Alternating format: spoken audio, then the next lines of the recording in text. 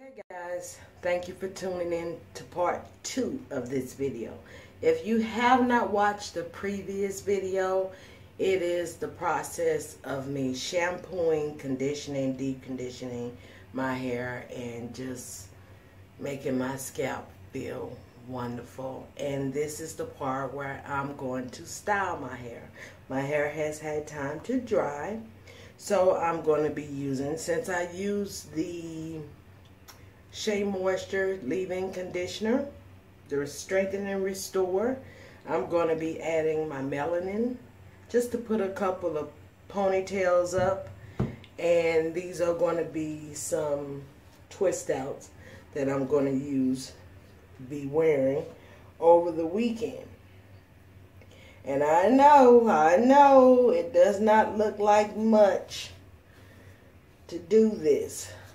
But when I split the Red Sea on this river, honey, there's a lot of hair, a lot of hair. So I'm going to take that much, rub it together. Should have went on and pinned it up. And I am going to do just that.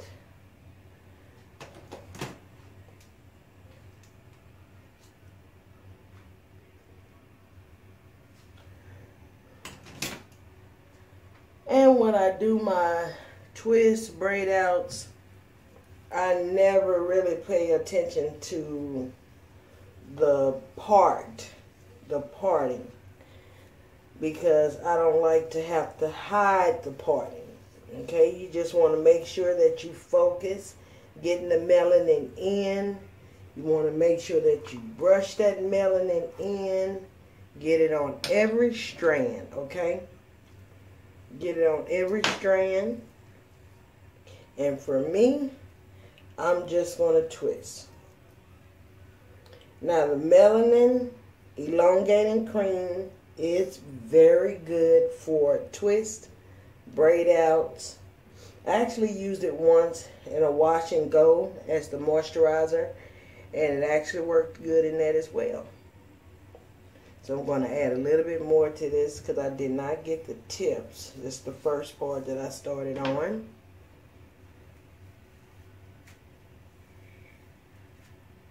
And when you see those curls like that, that means it made it all the way in to the root, to from the root to the tip. And that's when I start twisting.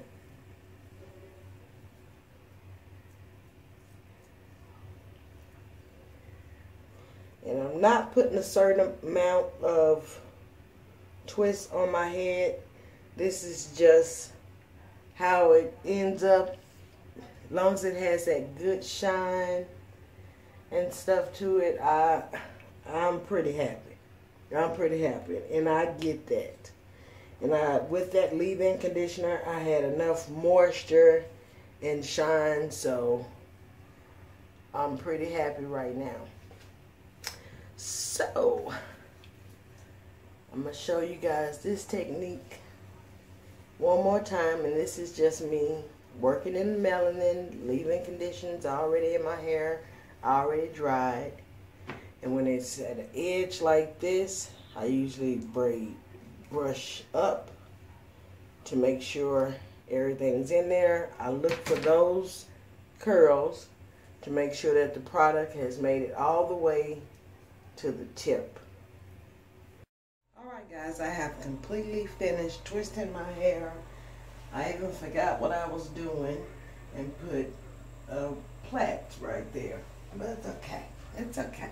It's all going to turn out pretty. I use the melanin only since I already had the leave-in conditioner in here. So we're going to see how the melanin does by itself. Okay? So basically, just twist. Use generously. I put enough in there to do what I needed to do, and that's just to get a twist out. And I will get back with you guys for the takedown. Get some rest. The next part of this video is not going to start for one, two, now. Just like that. And I'm back. twirl, twirl, and twirl. Um, I'm going to say this. And then I'm not going to say anything else about this, okay? These two together do not make a killer combo.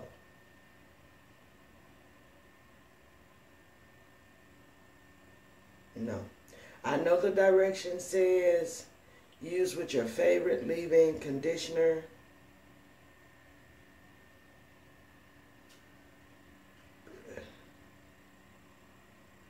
This is good all by itself with a styler. This is good all by itself with another styler that has uh, some oil in it.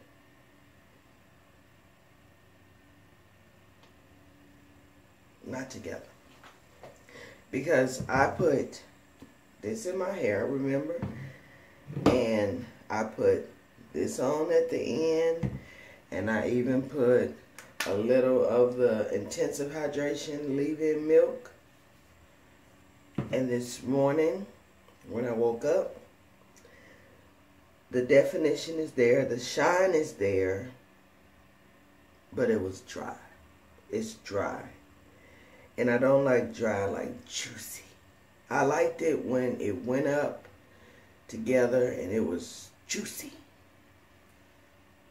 But when I woke up, it was dry. It was dry. Now, I have used this with other stylers and gotten a great result.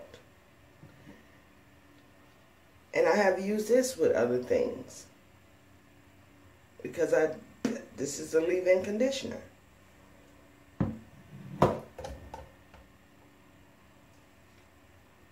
Not together.